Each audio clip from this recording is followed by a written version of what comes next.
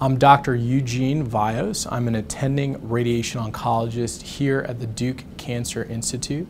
So I treat young adults as well as uh, folks older in age, a large spectrum. These are patients who have both primary and malignant brain and spine tumors. So these could include patients with brain metastases or a newly diagnosed glioma, low grade or high grade.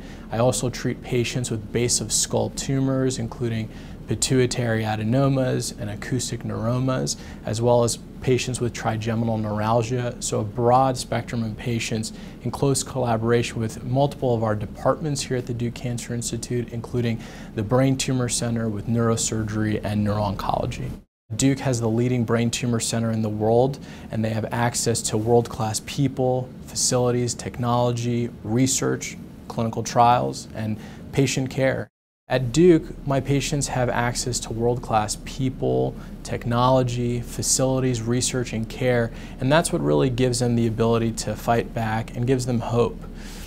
I also tell them that what I bring to the table is empathy, knowing what it's like to have been a patient myself at Boston Children's Hospital.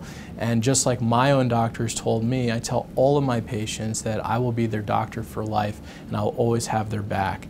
And I'm really looking forward to saying the same to all the future patients I have the opportunity to care for here at Duke.